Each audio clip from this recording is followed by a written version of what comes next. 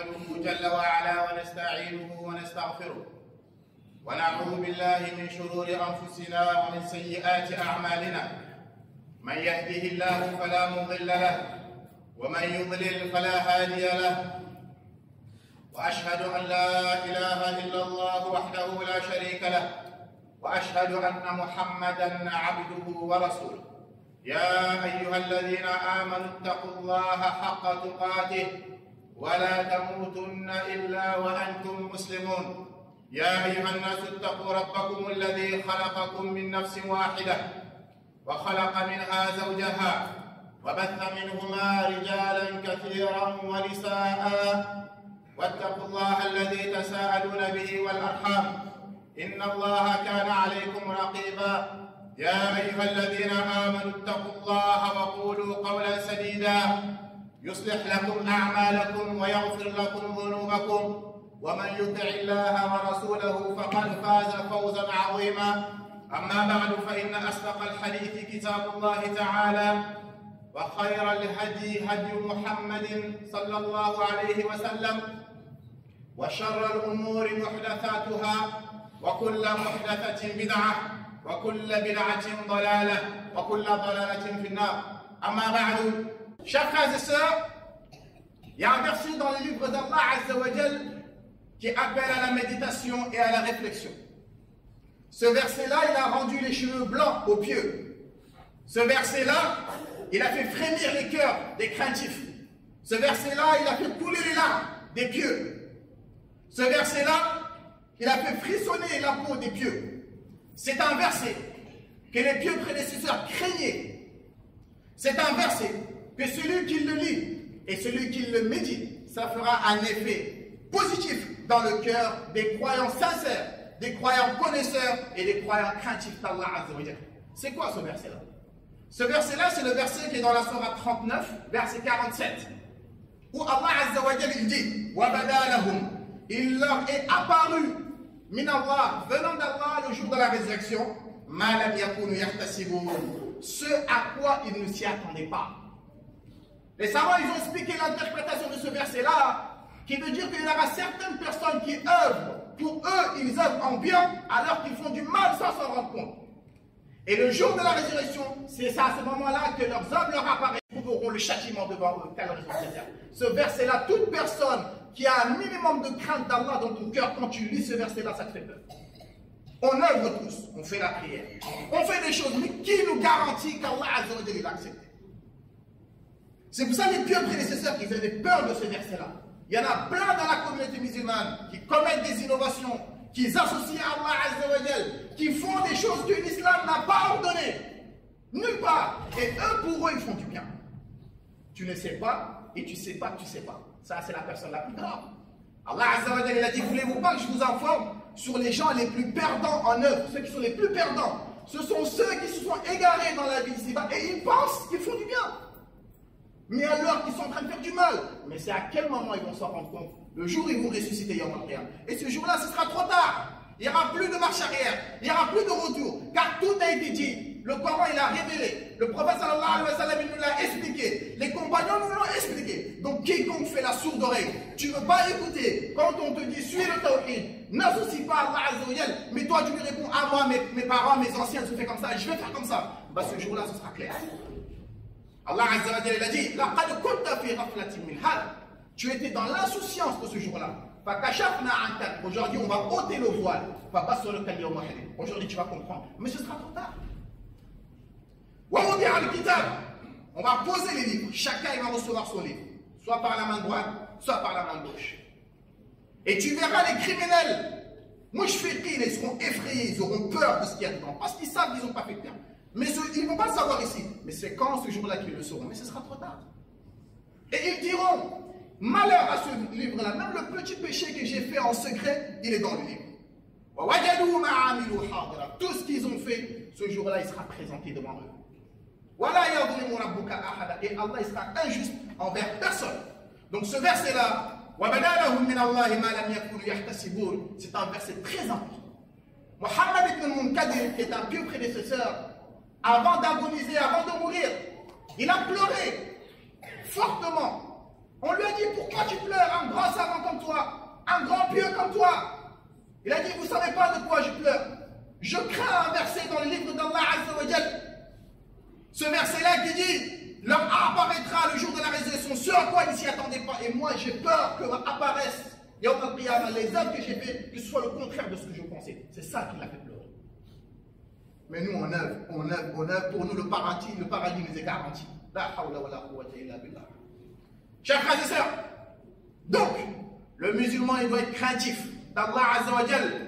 Tous les œuvres qu'on fait, on n'a aucune garantie qu'Allah l'a accepté. On n'a aucune garantie. On a espoir, mais on n'a aucune garantie. Donc il faut toujours avoir la crainte. Entre la crainte et l'espoir.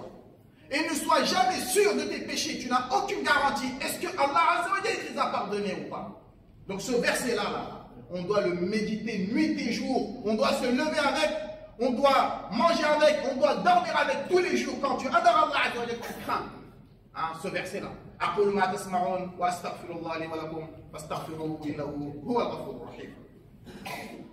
Chers frères et il a été rapporté par Ibn Rajab, rahimahullah, il a dit que les gens qui vont là, les choses qui vont apparaître à certains le jour de la résurrection qui ne s'y attendaient pas, il y a plusieurs catégories de personnes. La première catégorie de personnes, ce sont les mécréants et les polythéistes. Ceux qui ont associé à Allah Azzawajal. Dans la vie d'ici-bas, Allah il leur a accordé la bonne santé. Allah Azzawajal leur a accordé le succès. Donc eux pour eux, comme Allah Azzawajal leur a donné beaucoup d'argent et le succès dans la vie, eux pour eux, Allah il va les accorder aussi la même chose dans l'au-delà. C'est ça qui les a trompés. Ils font du mal. Ils créent des guerres. Ils sèment la zizanie dans le monde entier. Ils font du mal. Et eux, pour eux, bah, ils n'ont rien vu. Ils n'ont pas vu de conséquences. Donc ça veut dire que tout va bien. Ils continuent. Allah, il les laisse. Mais le jour il va les attraper, ah, ce jour-là, il n'y aura plus d'échappatoire. Donc eux, pour eux, ils continuent à faire du mal. Comme ils ont la bonne santé, comme tout va bien. Donc eux, pour eux, Allah, il est d'accord avec ça. Donc eux, pour eux, le jour de la résurrection, ils auront la récompense. Mais ils auront la surprise de voir le châtiment. Un châtiment qu'ils ne pourront pas supporter. Et ainsi que ceux qui sont associés à Allah Azzawajal, ceux qui implorent les tombeaux, ceux qui implorent les morts, ceux qui vont voir les voyants et les sorciers. Pour eux, ils font du bien. Mais tout ce qu'ils font en bonne action, Allah Azzawajal va transformer ça en poussière le jour de la résurrection. Soyez vigilants, chers frères et sœurs. Soyez vigilants. La deuxième catégorie de personnes, ce sont les gens qui ont été injustes envers les autres. Ils font du mal aux gens. Ils insultent les gens ils volent l'argent des gens. Et eux, pour eux, comme ils sont forts, bah, personne ne pourra rien faire contre eux. Mais le jour de la résurrection, tout sera clair. Toutes les prières que tu fais, tous les jeûnes que tu fais, toutes les bonnes actions que tu fais, si tu n'as pas demandé pardon aux gens à qui tu as fait du mal dans la vie d'ici-bas, le jour de la résurrection, ils vont prendre de tes bonnes actions. Toi, pour toi, c'est bon, tu es sauvé parce que tu as beaucoup de prières. Mais ils vont te dire, attends, avant de rentrer au paradis, viens ici. Tu vois, lui là, tu avais volé son argent, rends-lui son argent. On va prendre tes conversations, on va lui donner. Eh, tu vois, lui là, tu l'avais accusé. On, je crois qu'on l'a mis en prison pendant des années. C'était faux. Donne-lui. Tu vas donner, donner, donner, donner, jusqu'à qu'il ne te reste plus rien du tout. Mais c'est pas terminé. Il reste encore. Eux, ils vont prendre leur péché, ils vont te donner ça. Et on va te prendre, on va te traîner sur ton visage, on va te jeter en enfer. Ça, il n'y a pas plus grande terre que ça. Donc, on fait de bonnes actions. Mais soyez vigilants de ne pas être injuste envers vos épouses, de ne pas être injuste envers vos enfants, même les animaux, l'islam nous interdit d'être injuste envers les animaux, parce qu'on va rendre des comptes. La dernière catégorie, il y en a beaucoup, mais en un prêche, on ne peut pas tout détailler. La quatrième catégorie de personnes qui seront surpris du châtiment qu'ils vont voir le jour de la résurrection, ce sont des gens qui commettent des péchés en cachette. Ce sont des gens, toute occasion qu'ils ont pour faire des péchés, ils font les péchés. Ils se cachent des gens, mais quand ils sont seuls, ils commettent des péchés. Le prophète sallallahu alayhi wa sallam, il a dit dans un hadith authentique, il a dit, je connais des gens de ma communauté, des musulmans, qui viendront le jour de la résurrection avec des montagnes de bonnes actions. Tihama, c'est les montagnes de la Mecque, les grandes montagnes. Ils viendront avec beaucoup de bonnes actions. Mais Allah Azzawajal, il va prendre tout ça poussière. Tawban, il a eu peur, il a dit, Ya Rasulallah, décris-nous, c'est qui ces gens-là? Décris-nous ces gens-là pour pas qu'on soit parmi eux alors qu'on ne s'en rend pas compte. Le prophète, il a dit, ces gens-là, vous savez, c'est qui? Ce sont des frères à vous, des musulmans, qui, sont des, qui ont la même peau que vous, qui sont des, êtres humains. Ce ne sont pas des djinns, ce ne sont pas des malaïkas. Mais ces gens-là, ils prient la nuit, ils lisent le Coran comme vous. Mais le problème, vous savez, c'est quoi? Ce sont ces gens-là, quand ils ont une occasion de désobéir à Allah, ils le font. Ou bien quand ils ont une occasion de désobéir à Allah en cachette, ils le font. Quand il est tout seul dans la chambre, il prend son téléphone, il regarde n'importe quoi, du haram. Mais quand il est devant les gens, il fait semblant de mettre du Coran en disant voilà, moi j'écoute que le Coran. Ces gens-là, ils se cachent des gens, mais ils ne savent pas qu'Allah il est parfaitement connaissant. Bah, leur châtiment à ces gens-là, qu'Allah nous en préserve, c'est qu'ils vont faire de bonnes actions. Pour eux, c'est bon, le paradis c'est garanti. Leurs bonnes actions, là, Allah va transformer tout ça en poussière, qu'Allah nous en préserve. Chers frères et sœurs, méditons sur les versets du Coran. La vie d'Isseba, elle est courte. On va bientôt tous mourir, on va bientôt tous partir. Donc, accrochez-vous au tawhid. Accrochez-vous à la sunna du prophète sallallahu alayhi wa sallam. Wallah, vous ne le regrettez pas dans la vie d'ici-bas et dans le delà Quiconque veut vous détourner de ce chemin-là et vous appelle à son adoration, ne le suivez pas. Il est en train de vous arnaquer. Car le jour de la résurrection, les suiveurs vont se désavouer de ceux qui les ont suivis. Les meneurs, vont se désavouer de ceux qui les ont suivis. اللهم صل على محمد وعلى آل محمد كما صليت على إبراهيم وعلى آل إبراهيم إنك حميد مجيد. اللهم بارك على محمد وعلى آل محمد كما باركت على إبراهيم وعلى آل إبراهيم إنك حميد مجيد. وارض اللهم عن خلفائه الراشدين الأئمة المهديين أبي بكر وعمر وعثمان وعلي وعن الصحابة أجمعين. ومن تبعهم بإحسان إلى يوم الدين. اللهم أرنا الحق حقا وارزقنا اتباعه وأرنا الباطل باطلا وارزقنا اجتنابه. اللهم اجعل خير عمرنا آخره وخير عملنا خواتمه وخير أيامنا يوم نلقاك فيه. يا مقلب القلوب ثبت قلوبنا على دينك.